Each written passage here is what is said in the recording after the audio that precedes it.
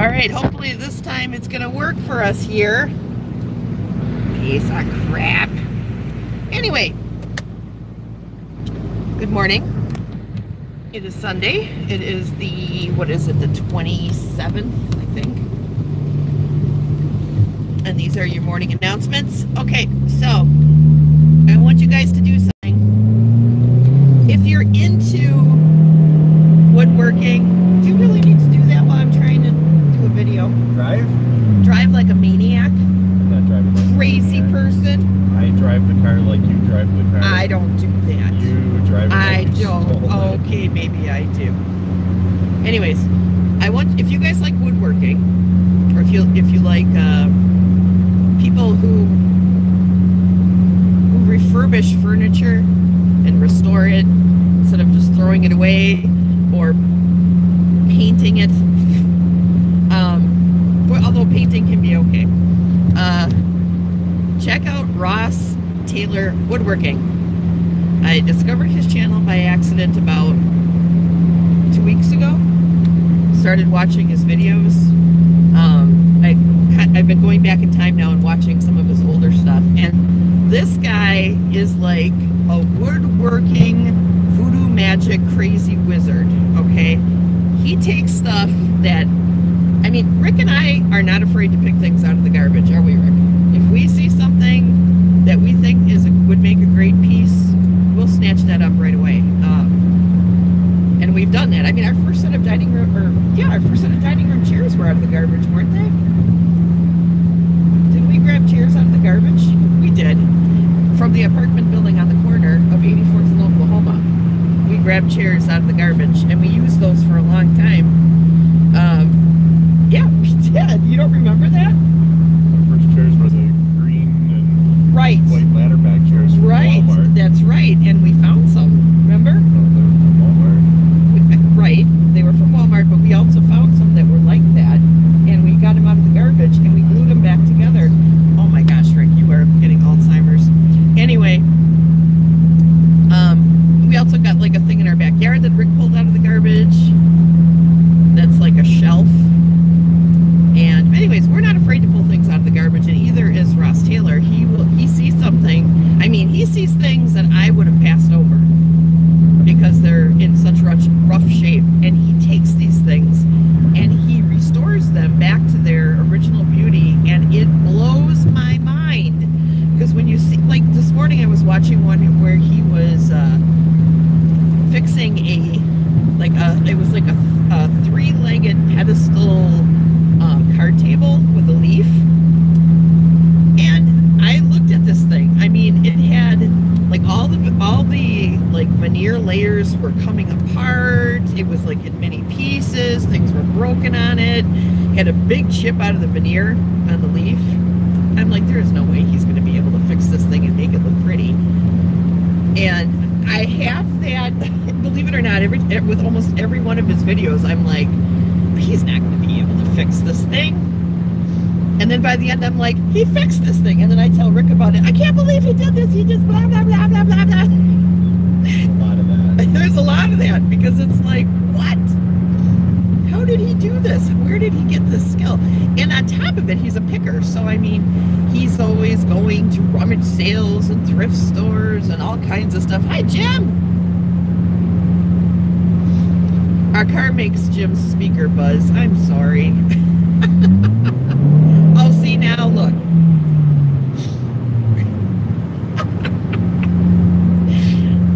anyway, so go go check out Ross Taylor Woodworking. I, I'm really impressed with the stuff that he does.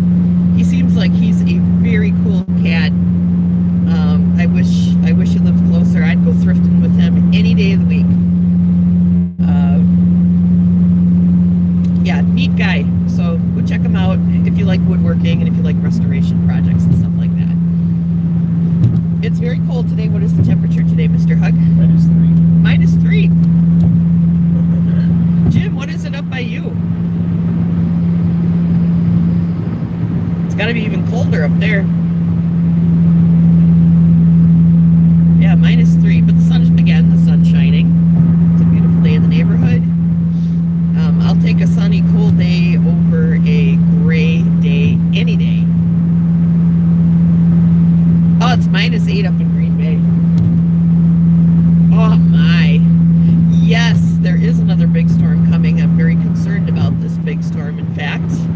because again, it's going to be followed by this crazy, crazy, icy business. And that's not fun when you work in a building where you got to make sure that, like, you know, the sidewalks are, are nice and clear so that nobody falls and hurts themselves. And we have, we're on a corner, so we have a lot of real estate at work. Um, and the guy who normally does our snow blowing is out of town, although he may be back in town today. I think. Not sure. We have to check on that. But About him because he's he's uh I mean anybody in this cold, anybody in this kind of weather, I worry about, you know, going out and having to do that. But I, I worry about my coworker a lot because I love him.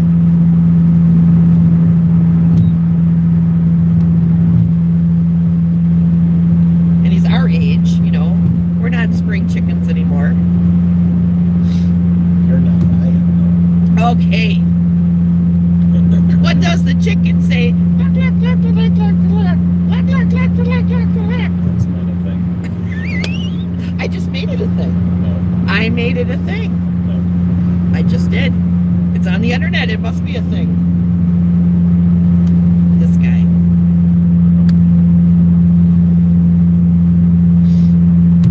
Yeah, it's uh it's crazy cold. I know when it's crazy cold when the cats like love to sit next to the heating vents on the floor. Have you found them doing that? They've been doing that for weeks. They yeah, but it's they know. Because it's so cold in our house. It's not. It's not cold in our house. It's warm enough where I'm in shorts the whole winter when I'm at home. But the cats sense it coming, I think, and they lay down in front of the, the little heater and keep themselves warm in front of the vents. I think that's very cute. Last night they were sleeping together. If you have me as a friend on Facebook, hey, good morning, Tommy.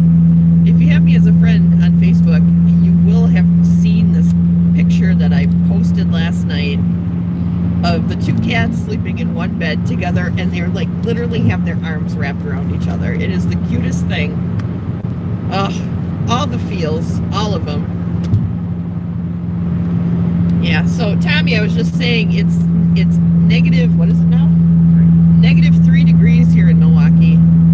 Uh, Jim, who is also on the, the chat here, he's up in Green Bay and it's like negative eight up there. It's very cold. Very, very cold. Very sunny, but very cold. We're supposed to get, how much snow are we getting tonight? Did they? Tonight only an inch. Tomorrow it's supposed to be like six, seven. Oh my gosh, where are we going to go with all that snow? Morning, Robert Burke. It is negative three here, Robert Burke. Sunny, but cold. That's my weather report.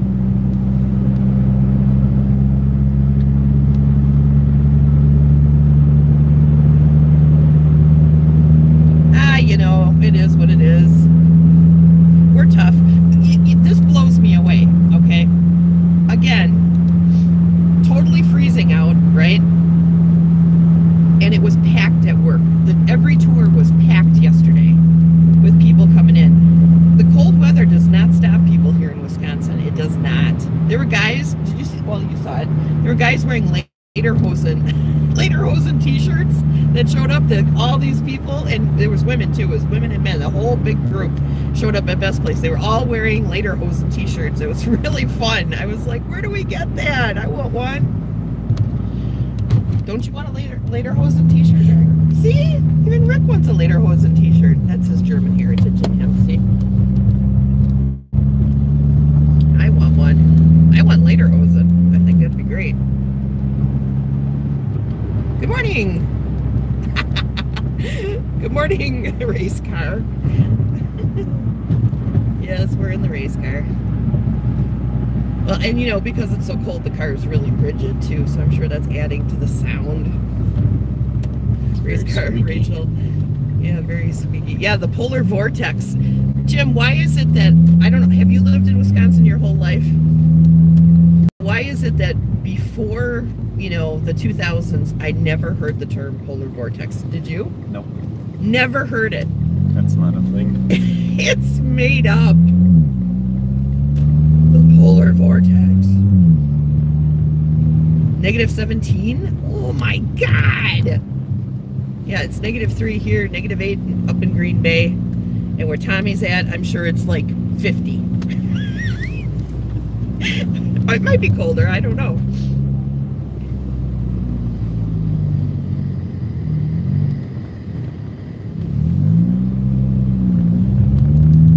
Yeah, you know, Rick and I talk about this often about how when we were kids, you know, Rick and I were kids in the 70s, um, in the early 70s, and we remember winters always being a hell of a lot more snowy than they are now and a lot more cold.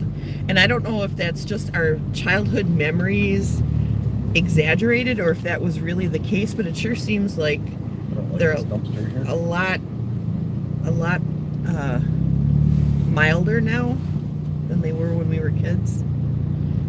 But I don't know. We might be just dreaming that. I don't know. Back before back before people knew how to read and write and there was no internet and and there was only like two TV channels.